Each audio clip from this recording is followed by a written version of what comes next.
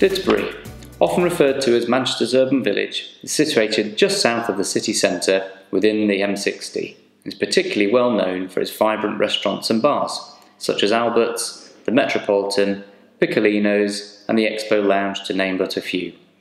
It's split between the classy Didsbury Village and uber trendy West Didsbury areas. Perfectly located for those working in Manchester and beyond with the Metrolink stations, dual carriageways into and out of Manchester, mainline rail links, easy access to Manchester International Airport, the M60 and M56 motorways. Both public and private schooling is well catered for in and around Didsbury, with a number of sought after primary and secondary schools such as Beaver Road and Cavendish Road Primary, and Parrs Wood, Barlow Roman Catholic High Schools, as well as Allerton Prep School,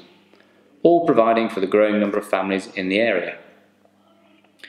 Didsbury has always been an area of affluence, evidenced by the quantity and quality of large Victorian and Edwardian properties, and regularly chosen as a place to live by the city's business people, lawyers, doctors, lecturers, professionals, and television celebrities.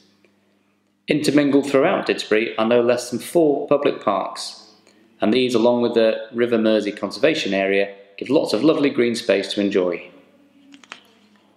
Known for its community spirit, it has well supported clubs such as the Northern Lawn Tennis, Squash and Fitness Club, the Albert Tennis and Bowling Club,